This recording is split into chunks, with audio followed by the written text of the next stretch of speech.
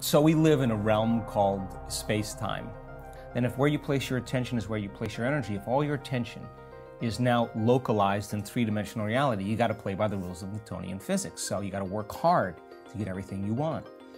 When you take your attention off your body and you go from a somebody to a nobody, if you're not your body, if you're not the people in your life, you're not the objects or things or places or time itself, what are you? You're pure consciousness. In this realm of time space, all possibilities exist, and you can't experience them with your senses.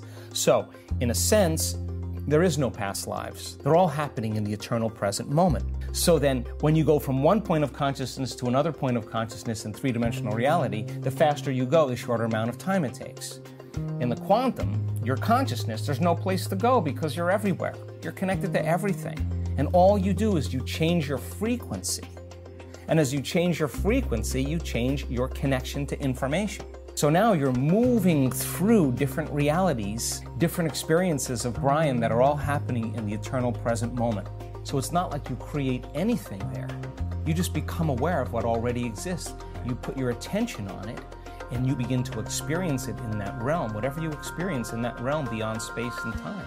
And you can begin to emotionally embrace must manifest in three dimensional reality. In this space and time, it's the law.